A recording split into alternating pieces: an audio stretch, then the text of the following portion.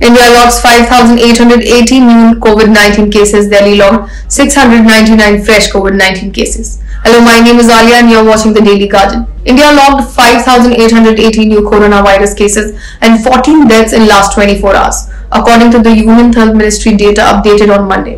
Amid rising COVID-19 cases, a nationwide mock drill to take stock of hospital preparedness will be held on April 10th and 11th in which both public and private facilities are expected to participate. Union Health Minister Mansukh Mandaviya will visit AIIMS Jhajjar on April 10 to oversee the mock drill, officials said on Sunday. Meanwhile, Delhi on Sunday logged 699 fresh COVID-19 cases with a positivity rate of 21.15%, according to data shared by the city government's health department. Four people suffering from COVID-19 died in the city. However, the health bulletin stated that COVID-19 was the primary cause of death in just one case.